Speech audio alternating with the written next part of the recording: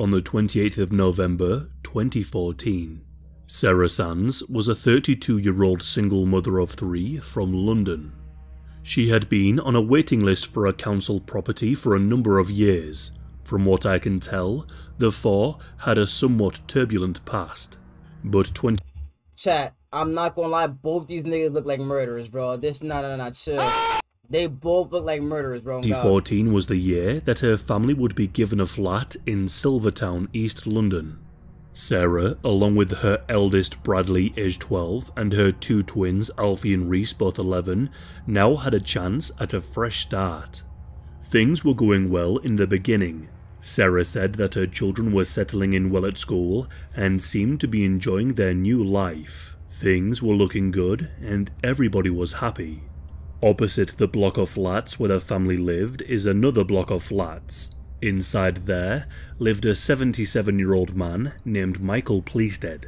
Or at least. Bro, wait, his name is Michael Please Dead? What the chat? What the fuck? Bruh. Nigga name is Michael Please Dead. Nah, see, if you know that that's literally like like signifying nigga's gonna die. Nigga name is Please Dead. That's what he told people his name was. Oh wait, hold on. Michael cat? presented himself as a sweet, lonely, and vulnerable old man who would sell the newspapers at the local newsagent's shop. Everyone in the area seemed to get along with Michael very well. Locals who knew him would often stop and speak with him.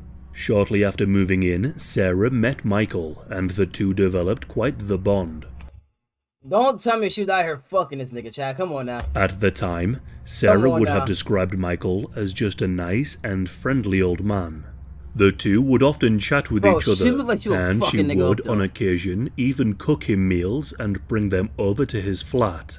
If Michael needed anything, Sarah was always happy to help, and she would often keep him company.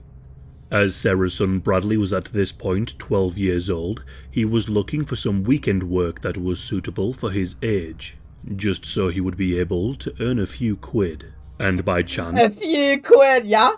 yo, nah, blood trying to order and get a new few quid, yeah? You know, you know, try a little few extra pounds and a few extra quid, yeah? You know, Michael asked you know, Sarah if her son Bradley would be interested in helping him at the newsagents. Sarah trusted Michael and considered him to be a good friend. She had no issues with Michael asking this, and many other young boys in the community had also helped Michael for some extra pocket money. She asked her son if he would be interested. Bradley was incredibly excited and jumped at the chance to earn himself some extra money. Soon enough, Bradley was at the shops helping to sort the papers, and on a couple of occasions he also brought along with him his twin brothers. Although, not long after starting, Bradley told Sarah that he no longer wished to do any more work for Michael, and the despicable reason why would soon come out. In November of 2014, I will come in your throat. Chat, listen, bro. Don't make me fucking end the stream of your bitch asses, nigga. Sarah's twins broke down and told her every parent's worst nightmare. They told her that after helping Michael sort some of the papers, he invited them back to his flat. Don't because Michael me, had built up trust with the boys, they me, agreed, and ah, they went back to his home with him. Once there, Michael essayed the two boys. Chat, listen, I don't want to be rude, chat. I don't, I don't want to be rude. Chat, I don't want to be rude. I don't want to be rude. How do you let like a seven-year-old, seventy-one-year-old fucking grandpa, fragile as like a, like a vase, SAU? How does that happen, bro? I don't want to be rude, you know, like it, it happens, but how does like how do you let that happen, bro? Can't like you're young as hell. Could you just molly whop in the straight face real quick, bro? Oh my Bradley then found out that his two brothers had been groomed by Michael. Sarah found Bradley in his room, crying uncontrollably, shaking, and pulling his hair out. Mm. He told his mother that he too had been abused by Michael, but was too scared and ashamed to admit anything. Bradley kept saying, I should have told you before. Michael had befriended Sarah to gain her trust and to get closer to her children. That's From day one, this had weird. been his plan. Sarah sat with her boys all night anybody, as they explained like, that. Not like, bro, like, imagine, bro, you imagine like a seven-year-old nigga like doing that weird stuff, bro. Like, and you think he's like such a nice old man. Like, nobody was actually gonna think like old people like that is actually weirdos. Eh, yeah, like, it's just why they had been groomed and abused by Michael. Sarah would later say that the level of guilt she felt consumed her. She said yeah, that it was her bro. main job to that's protect depressing. her children, and she felt that she had massively failed them. Sarah immediately contacted the police. She and her boys explained everything to the investigators, and Michael was swiftly arrested. This pretty much should have been the end of the story, but unfortunately, it isn't. Shortly after being apprehended by the police, Michael pleaded not guilty and was released on bail. Yo, what? But not only released, he was allowed to move back into his apartment Yo, right across the road from where Sarah and her three boys lived. Yo, her children. Chat, what the? Yo, what the fuck? What the fuck? Children were terrified. They were scared that Michael may seek that is, revenge. That's bad. Man, and that's if they terrible. left the terrible. flat, bumping into him was a real possibility. Sarah, of course, like was absolutely bro. furious and went right to the police station. She pleaded and begged for the authorities to rearrest Michael. However, they refused and instead advised her to move. No longer feeling safe in their home, Sarah took herself and her three boys to her mother's house, and the four lived there for a number of days. Sarah then contacted the local council and asked them to move Michael, they too said there was nothing they could do.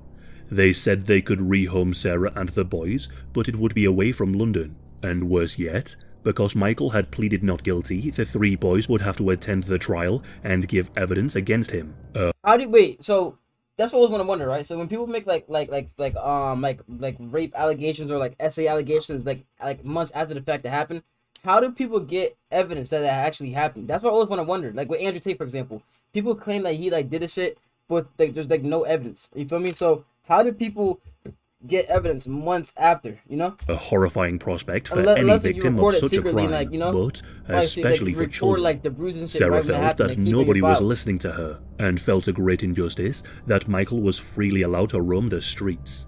A few days later, on the 28th of November, Sarah drank two bottles of wine and made her way from her mother's house back to her flat alone. No, she gonna do back some in her crazy flat, she looked at photographs of her three boys and began to weep. The shame she felt due to her boys being abused under her care became too much. Sarah got up, walked into her kitchen, and grabbed a 12 inch knife. She then left her block of flats and walked over to the opposite block where Michael lived. I, she stood justified, outside, justified, knocked, justified. and waited for him to answer. Michael came to the door and the two began speaking. Sarah demanded that he do the right thing and confess to the crimes he had committed so her children would not have to relive their trauma in court. Michael pushed back and stated that her children were lying and that he had done no such thing.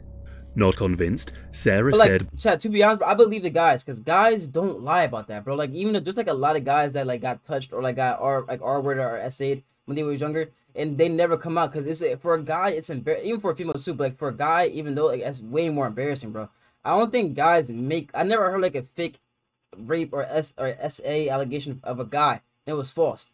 I never heard of it, so like I think it's actually true for them. Blankly at him. Probably and this is yeah. when Michael's personality shifted. Realizing that Sarah didn't believe him, he became cocky, abrupt, and began to smirk. He showed no remorse for the pain he had caused her children. Sarah later stated that she didn't recognize the man who she had previously seen as her friend. He refused to listen and refused to admit what he had done.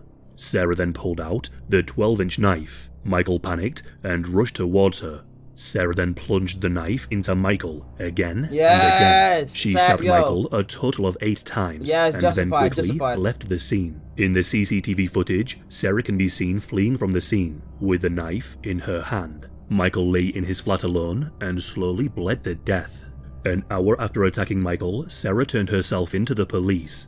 She explained the situation to them and stated that she had lost all control. She claimed that she didn't intend to actually kill Michael, she only wanted to make him confess to the crimes. Sarah was arrested and charged with murder, and her children were put into the care of their grandparents. Following the killing, it was found that Michael wasn't even his real name. His real name was Robin Moult, oh, although oh, to keep things simple, I shall keep referring to him as Michael. Under his old name, Michael had multiple convictions for SAing young boys. Oh, oh, now, oh, look at you now, huh? So it was actually true, dumbass. So the, the, legal system be dumb sometimes. Niggas won't be actually going like, I, I think people just say like, oh, nah, whatever, just don't do extra work, bro. Now look at these dumbasses. Now y'all could have stopped somebody from dying. From 1970. That's, that's what I'm saying. How didn't the cops ID him? That goes to show that these cops were lazy as fuck, bro. Didn't want to do no work. Lazy ass cops, bro. Like I said, that's my exact question too. How did a no cop ID him? Like how did how did they ID him? Look at it now. Now the nigga dead. In 1991, a shocking total of 24 previous convictions. He served sentences nah, of crazy. between 9 Blood and 6 years for his crimes. And here is where the case becomes even more disgusting than it already is.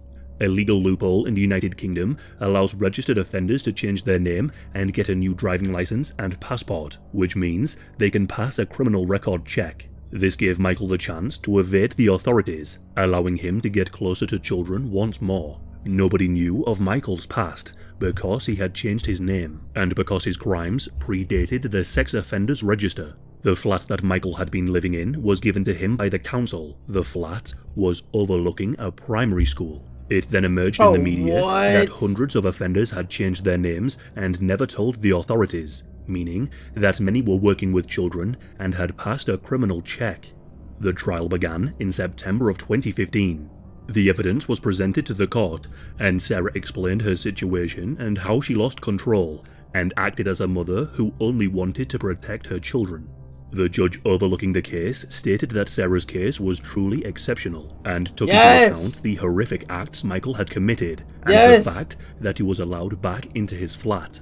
Sarah was convicted of manslaughter by reason of loss of control and not murder. Yes! She was sentenced to three and a half years. W, W, However, W, W. Some people were under the opinion that this sentence was far too lenient, and an appeal to extend yo, her see, sentence was yo, lodged. That's the, the reason for extending. That's like the Twitter niggas, bro. I, like that's what I mean by the Twitter niggas, bro. Niggas be trying to justify like like like R words and SAers, bro. If you really try to like get mad at her because the, the shit was too lenient, bro, then then have I don't want to be rude, but have your kids get get SA'd. Three of your sons, matter of fact.